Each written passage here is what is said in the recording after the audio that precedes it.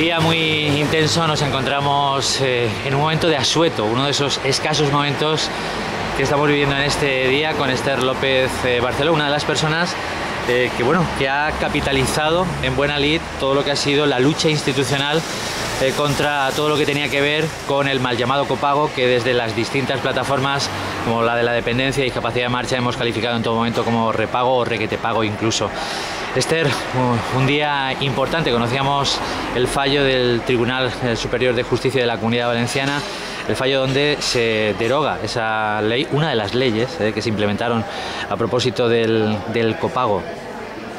Sí, eh, bueno, yo en primer lugar quiero agradecer la lucha y la victoria a quienes la han promovido, que han sido quienes han estado al pie del cañón desde el minuto uno o desde el minuto cero, que son la plataforma Discapacidad en Marcha y la plataforma por la aplicación de la ley de dependencia. Y por supuesto a todas las familias que han resistido en esa desobediencia legítima, con miedo y sufriendo un calvario por si les quitaban la atención de la discapacidad a sus familiares. Por tanto, por todos ellos, hoy es un día muy positivo porque se demuestra que sí se puede y que la lucha permite que ganemos batallas. Si no nos movemos, las tenemos perdidas.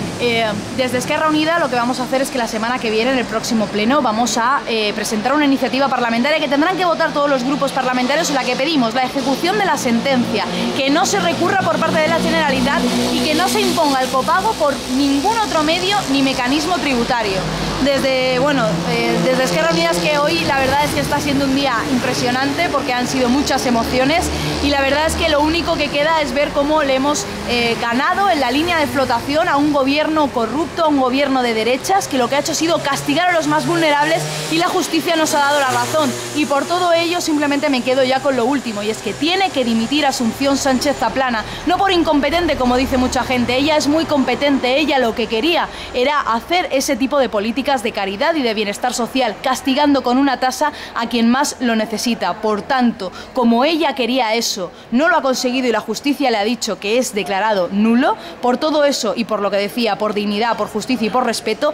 que se vaya Asunción Sánchez Aplana y, por supuesto, detrás todo el gobierno del señor Fabra. El justificatorio del fallo que hemos conocido hoy del TSJ de la Comunidad Valenciana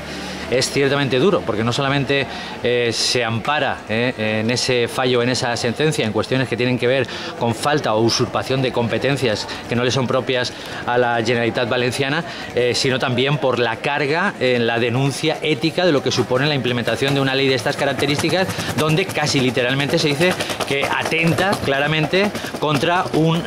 una parte de la población o un segmento de la población especialmente desfavorecida o especialmente frágil. Como suele ocurrir, Agripa, lo has dicho todo. Yo simplemente me quedaré eh, diciendo que en ese fallo del TSJ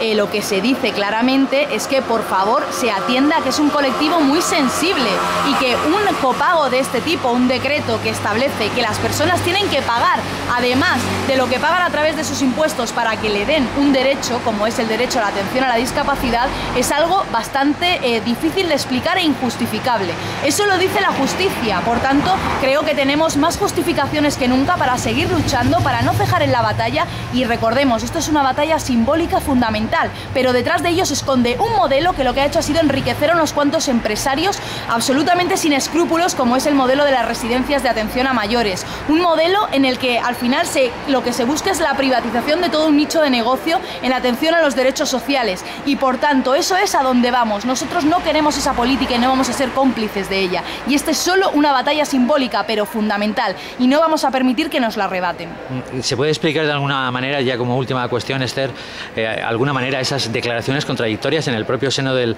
Partido Popular? Parece que no hay mucho diálogo interno donde Belver salía a la palestra diciendo que se iba a acatar religiosamente. Eh, siempre tienen que atribuir eh, este tipo de, cuestiones. Iban a acatar la sentencia del TSJ y por otro lado, a renglón seguido, con un lapso de tiempo muy escaso, la portavoz del Consell,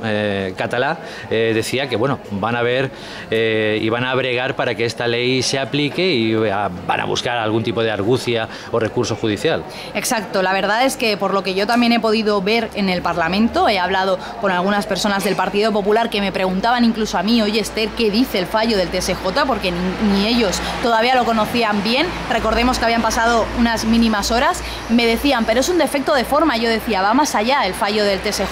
y por tanto, eh, a ver si sois un poquito listos, ¿eh? porque tenéis un año electoral por delante y esto os va a sepultar. Eh, por tanto, entiendo que deberíais de escuchar alguna vez a la población y el clamor social, porque esto es injusto y no es propio de ningún cristiano. Mm. lo que decía el señor Belver y lo que decía la señora Catalá es todo fruto de ese mismo momento de confusión y de desesperación. No saben muy bien lo que hacer. La señora Asunción Sánchez Aplana ha dicho a la SER esta mañana que ella no había leído todavía el fallo y que por tanto no quería decir nada precipitadamente. Todavía lo estarán estudiando y no, vamos, estoy completamente segura de que van a intentar volver a meterlo de cualquier otra forma. Por eso hay que estar muy alertas, hay que estar muy alertas porque lo pueden meter en la ley de acompañamiento de la ley de presupuestos que ahora mismo se va a empezar a debatir en las Cortes Valencianas. Lo pueden meter a, a través de una ley también a partir de enero o incluso antes. Por eso tenemos que estar muy atentos, no bajar la guardia en ningún momento, seguir luchando porque como decía, es una batalla simbólica muy importante,